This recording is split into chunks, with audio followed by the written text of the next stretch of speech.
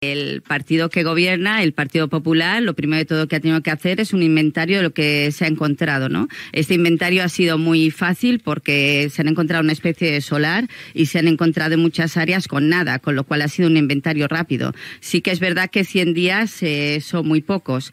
Eh, bueno, eh, después ha habido unos ataques hacia, hacia el grupo municipal que represento, que bueno, eh, estoy totalmente en desacuerdo. Eh, nosotros, evidentemente, velamos por el bienestar del ciudadano desde todas las áreas. el tema de la MT, de los autobuses, eh, bueno, la, se puede vender ahora, que es la parte electoralista y fácil vender, la que ahora se va a quitar y debido al pacto con vos se va a quitar la gratuidad. Es decir, no. También es falso el que Vox no mire por el bienestar del ciudadano y que uh, lo que haga es cortar una, una serie de, de libertades. Pero bueno, eh, yo creo que 100 días son pocos, que Palma está realmente muy mal y ni PP ni casi creo ningún partido en 100 días podría haber hecho mucho más que se ha hecho ahora porque es imposible. La qüestió que no crec que sigui la solució un tema de una hora antes, una hora después. El tema es de